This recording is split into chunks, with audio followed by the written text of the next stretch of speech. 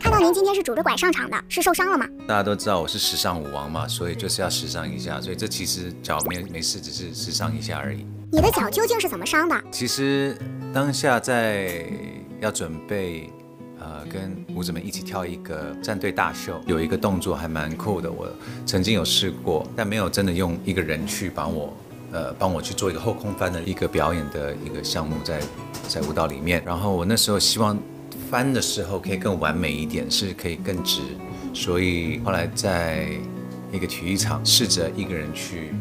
去练习，当下也有也有教练在，但可能就是自己没有顾到某一些点，然后就不小心骨折了。得知骨折后的第一反应是，我那当下一听到骨折，其实非常沮丧，很难去面对现实这件事情，因为觉得怎么可以突然让自己一下就不能跳了，然后就觉得会让其他的舞者很失望，对不起他们。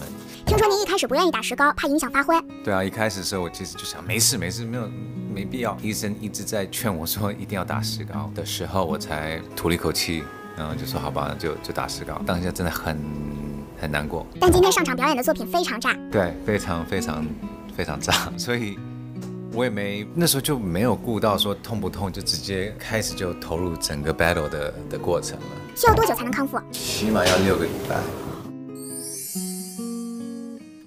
什么时候受伤的？哪里受伤了？昨天不是我背着小溪拍下去吗？然后就出点意外，我然后今天去，他跟我说是再摔一次，可能有可能这边胸骨会骨折。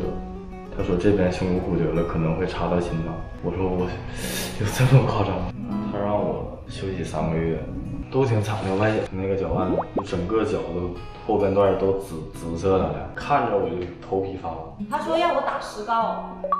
他们有一个配合，然后他们有一个 B boy 做托马斯的时候，先打到他的大腿内侧。第二天还是当天排练，他有个翻，每次都是左脚落地，但是他那天他想右脚落地，这一下就是腿软了，然后就变成那样。他说要打石膏一个月，我肯定不能打石膏，我不打。我吞我吞剑把门牙都磕掉了里边磕掉一块，拍不这拍不到了，里面牙在里面磕掉了的。那天身体不好，我上场前还吐血，可能胃炎犯了还是怎么着？上场前吐血了，一直在干呕，腰椎也疼，就脊椎骨也疼，强忍的跳下来了。刚刚看大家从医院刚回来，我们去了六个人，然后有五个是骨科，然后有一个是胸外科。我是第什么第四节、第五节有轻度的那个突出，左边的 S 一的那个椎体有一个小的呃骨块长出来。医生说了，这一次的伤应该是因为。嗯，可能我们我们太太辛苦太累了，这不是骨头的问题，这一次的伤是因为肌肉和韧带的问题。让我带那个钢板的那个那个叫什么护腰，排练其实也会，嗯，很多东西会做不了，因为我有一个就是上台的一个呃旋转在钢蹦身上，因为那个要靠完全的腰力把那个上身支撑起来，所以那个其实也很费腰。上台的时候我发现，嗯，怎么没有感觉了？但下来之后就。有点小崩溃。照 CT 跟那个 X 光，其其实骨头都没事，但是好像外面的软组织好像因为这样子有些损伤。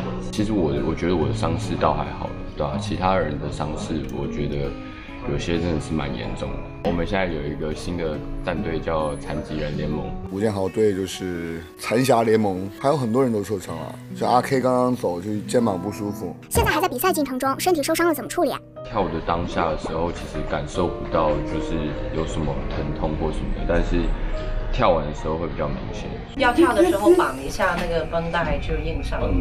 该跳还是得跳啊，那也不能我疼就不理了吧。过程会不会很痛？我觉得节目其实带给我们的是开心和快乐，快乐会比痛更多一些，快乐会比痛更多一些。